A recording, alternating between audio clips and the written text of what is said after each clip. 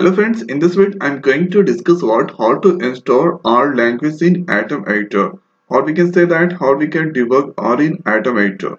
The very first step is you need to install R language first. So R already installed in my laptop. Now you wanna test, just write print function and here going to print hello world.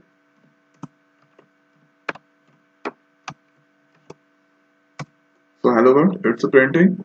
So about the installation of R that I already discussed in my previous video, you should try to check. Now here after the next important thing, you need to set the path.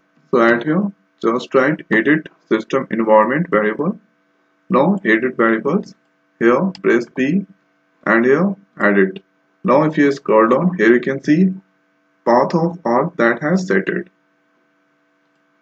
Now hereafter when that two done, hereafter open uh, Atom Editor and at this place go to file and here go to setting.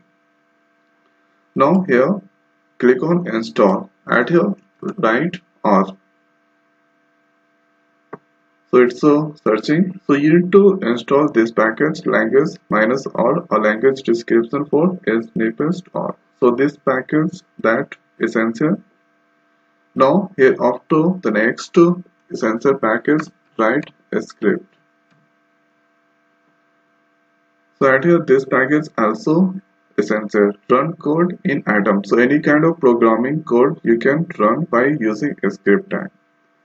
So when that do done, here hereafter right click on the folder here new file and here give the file name. So giving add here Hindi and extension must be in a small r for R programming. Now hereafter write the print function and here printing hello world. Control S to save. Here go to package. At this place script run script. So hello world it's a displaying. Like that you can do any modification writing how R U. Control S to save. Here package. Now here hereafter script and here run script.